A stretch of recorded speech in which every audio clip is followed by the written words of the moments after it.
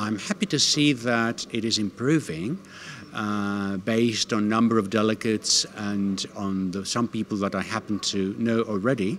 So it's good for other countries also, especially in the Balkan region, that podiatry should improve. And I'm also happy to see that, as far as I can see, podiatry is, is collaborating with, uh, well, internal medicine, uh, diabetes endocrinology, and so on. Uh, and that's a goal to pursue also in other countries.